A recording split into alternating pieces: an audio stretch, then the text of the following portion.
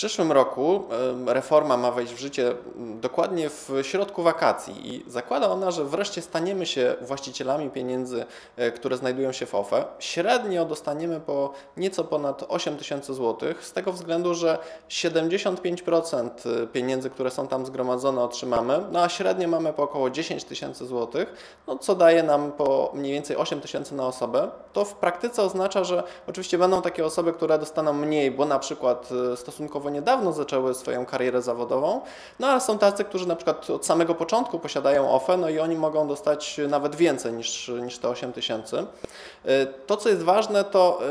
te pieniądze dostaną także te osoby, które w 2014 roku podejmując decyzję ZUS czy OFE, y,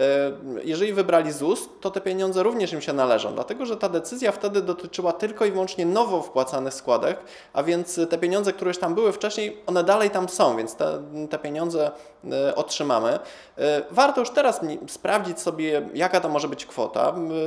Na stronach internetowych wielu OFE jest taki system do logowania się, gdzie można sobie sprawdzić saldo, też można zadzwonić na infolinię e, i tam się tego dowiedzieć. Potem możemy sobie jeszcze raz się zalogować na przykład przed samym wejściem tej reformy w życie i też sobie sprawdzić, czy, czy poprawna kwota została nam